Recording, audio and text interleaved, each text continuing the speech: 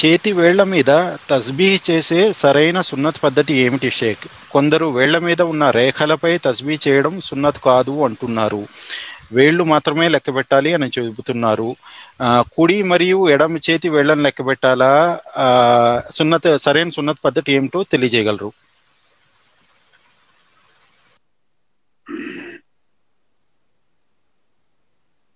చూడండి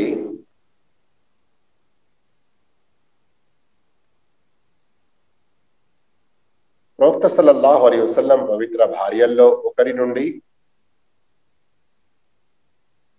హదీస్ సహీ ఉల్లేఖించబడినది విక్ర్ ఎలా చేయాలి అనే విషయంలో ప్రవక్త సల్లల్లాహు అలీ వసల్లం తెలిపారు.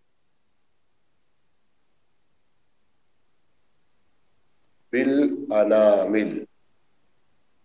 మీరు మీ యొక్క వేళ్ళతో తస్బీహ్ అనేది చేయండి. ఇదిగోండి. మక్తబ షామిలాలో నేను మీకు చూపిస్తున్నాను. ఇక్కడ చూస్తున్నారా?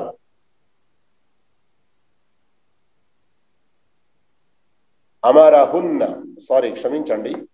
బహుశా ప్రవక్త భార్యల్లో ఒకరి ద్వారా కూడా లేఖన ఎక్కడో చదివినట్టు నాకు గుర్తుంది. కానీ ఇక్కడ అబుదావుద్ హదీస్ నంబర్ ఒకటి ఐదు సున్నా ఒకటి యుసైరా రది అల్లాహు తారణ ఉల్లేఖిస్తున్నారు. ప్రవక్త సల్లాహం ఆదేశించారు అమరహున్న స్త్రీలకు ఆదేశించారు అయ్యురాఈన బిత్తక్బీరి వత్తఖదీసి వత్తహలీలి.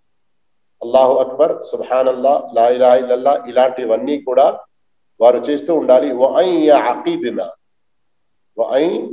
అకీదిన బిల్ అనామిల్ తమ వేళ్ళతో లెక్కించాలి అని.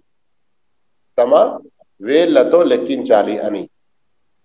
ఫఇన్నహున్న మస్ఊలాతున్ ముస్తన్తకాతున్ చూస్తున్నారు కదా?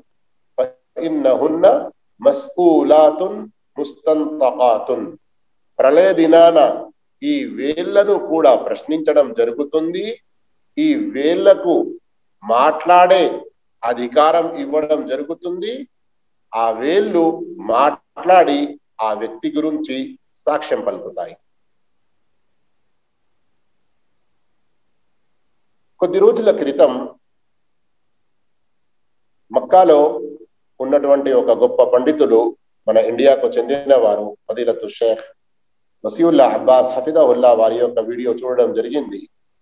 ఆయన ఉమ్ముల్ ఖురా యూనివర్సిటీలో ప్రొఫెసర్ మరియు మక్కతుల్ ముకర్రమ మస్జిదుల్ హరాంలో ఉర్దూ మరియు అరబీ రెండు భాషల్లో కూడా ముదర్రిస్ అక్కడ వారు దర్స్ ఇస్తూ ఉంటారు.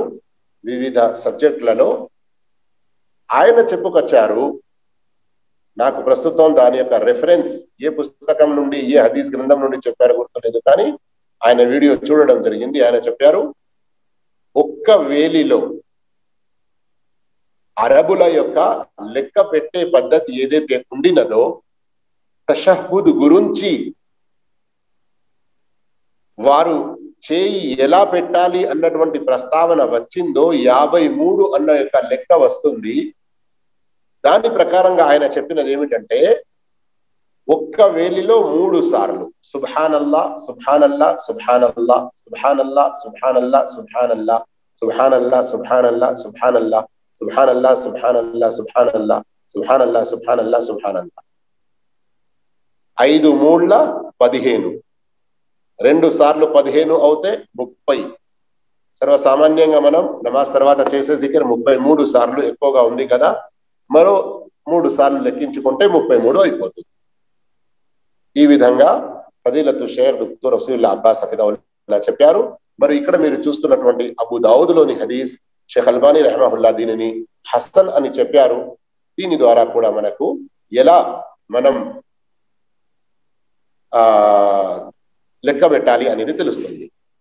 ఇక మీ ప్రశ్నలో వచ్చిన మరో అంశం కుడి చెయ్యి ఎడమ చెయ్యి. రెండింటితో కూడా లెక్క పెట్టవచ్చునా? అయితే ఇక్కడ కొందరు పండితులు చెబుతున్న విషయం ఏంటంటే ముస్లిం షరీఫ్లో వచ్చిన ఒక హదీద్ ప్రకారం సర్వసామాన్యంగా మంచి పనులన్నీ కూడా ప్రవక్త సల్లల్లాహు అలీ వసల్లం కుడి చేతితో చేయడం ఇష్టపడేవారు. అల్లాహ్ యొక్క దిక్ర్ అన్ని మంచి విషయాల్లోకెల్లా అతి ఉత్తమ మంచి విషయం గనక ఒకవేళ దీనిని మనం సరిపుచ్చుకుంటే బాగుంటుంది. ఒక్క చేతితో మనం అల్హందుల్లా చేయవచ్చు. ఇందులో ఎలాంటి ఇబ్బంది అనేది ఇన్షాల్లా ఉండదు. జజాకుల్లాహు ఖైరా.